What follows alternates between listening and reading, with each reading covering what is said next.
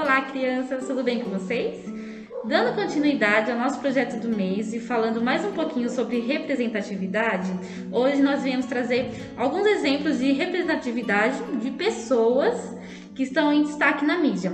Por exemplo, a Maju, ela é repórter, comentarista e jornalista. Tem também a cantora Isa, tem a princesa da Disney, a Tiana. Todos eles são inspirações de representatividade.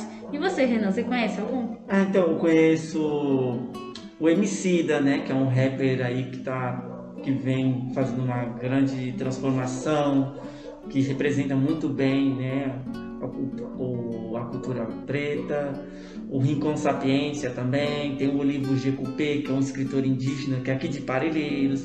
Vocês conhecem alguém que está em destaque na mídia ou tem alguma pessoa que vocês têm como símbolo de representatividade?